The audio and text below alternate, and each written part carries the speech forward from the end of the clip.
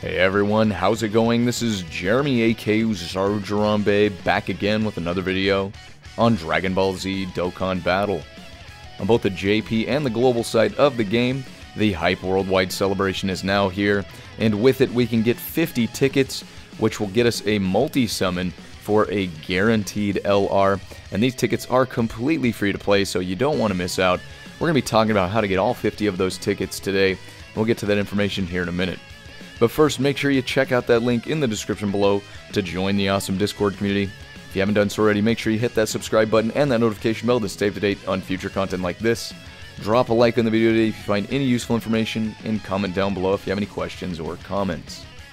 So let's hop right over to Dokkan Battle here. We're going to go into the News tab where we can see all of the information necessary for this 50 unit multi-summon. So you go ahead and go down here and you've got a breakdown for everything that this banner entails. So we can do a 200 Dragonstone multi-summon with this as well, or we can do those 50 uh, tickets. And again, these tickets are completely free to play, and you can see here we are guaranteed to get at least one LR unit, or an SSR that can be uh, Dokkan Awakened into an LR. But we get 7 of those tickets from our first login, and then 43 of the tickets will come from missions that they were released throughout the course of this campaign. So you can see the complete breakdown right here.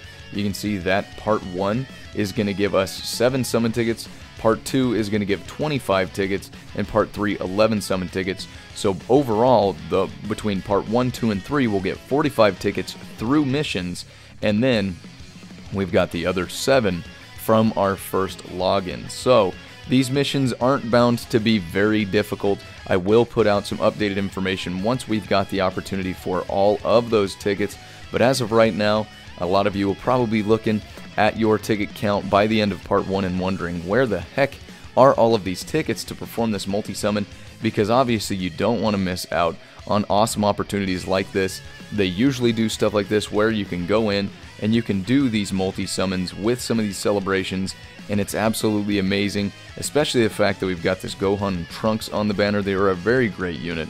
If you haven't pulled them yet, hopefully you can get lucky enough to pull them, but there's some other featured units on the banner as well, so we're bound to get some pretty good stuff there. 50 unit multi-summon, guaranteed LR.